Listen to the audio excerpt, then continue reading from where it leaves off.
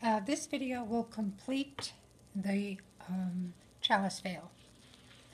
In the last one, I told you to sew starting here, going all around and leaving an opening, and then clipping the corners. So that's where you should be by now. Now we're going to take a piece of round cardboard. I got this on the inside. Who knows? One of those, um, I don't know if it was wax paper, saran wrap, aluminum foil. One of them. It's nice and sturdy, so it's not going to bend. And you want to insert it inside. And then we're going to press. When you press, you have to hold either side of the fabric, the lining in the fabric, push it down really nice and tight. And then you press it towards the lining. Hold and press, hold and press all the way around and go as close as you can to the corners. Just keep moving the circle around and you'll be able to um, lay that nice and flat for yourself. Then you're going to take it out. Oops, there you go. Turn it inside out.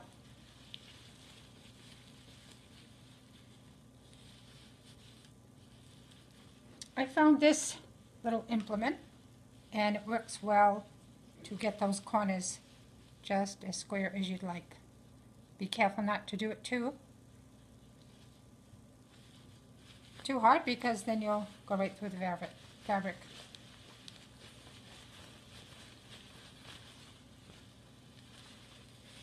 And turn, turn it all. Just keep putting your hand in there. A little tricky. you can get it all. Turn it right side out.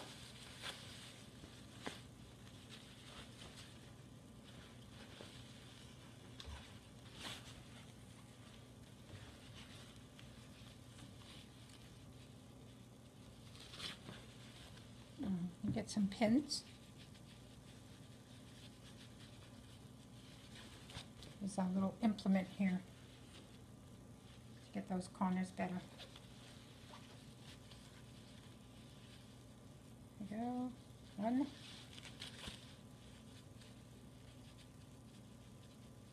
Two.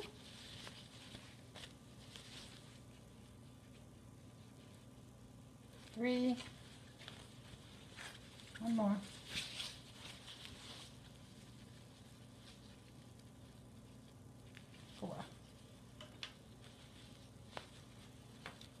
You see how nice and flat that lays. Look at that. Okay? Like, if you're not sure when you're all done that it's square, you could use a pattern. Place it on top of your pattern and you could see if it's square. Or, if you like, you can get one of these. These are a quilting board, and you can place it on the top of the quilting board to see if your corners are nice and square. Both those uh, methods work well. When you get to the edge here that is opened,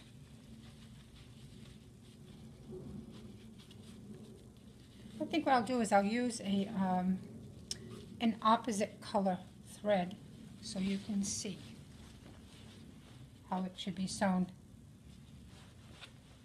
Let's put it to the right side. What I do is I pin along the edge. See how nice it folds? I'll go back and fix that corner.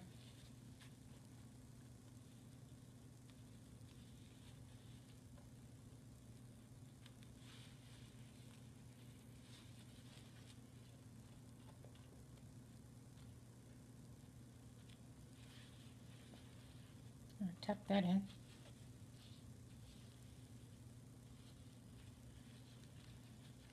And if you just pull the fabric, it'll lay nice and flat. You'll be surprised how nice it works.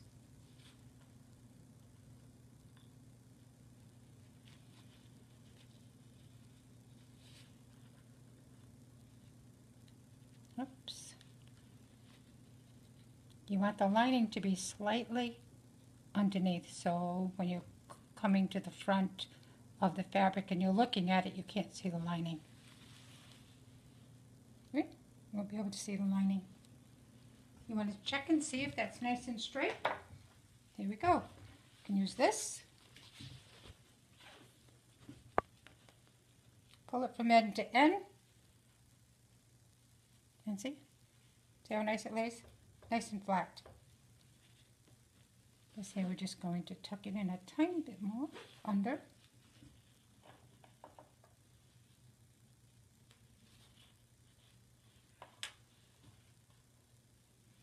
There we go.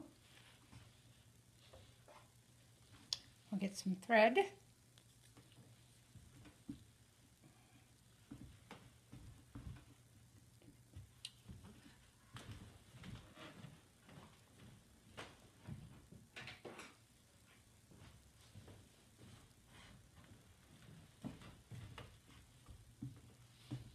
I'm not going to sew this whole thing. I'm just going to sew a little section of it to show you. And I'm going to use a color red just so you can see what the stitches are. It's not going to be a permanent uh, fix here. I'm going to take it out and redo it in white, of course.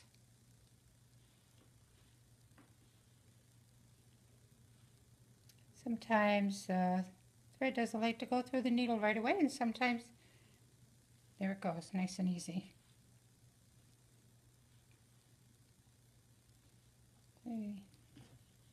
What we're going to do is we're going to hide the knot underneath. Hide the knot underneath.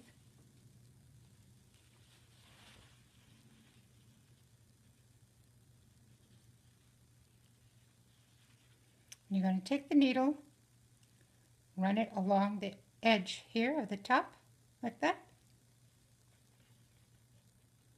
And take it, run it along, just even, but onto the fabric now. Across. Go down here, right along the edge of the lining, come up. Now when we use white thread, of course, you won't see those little stitches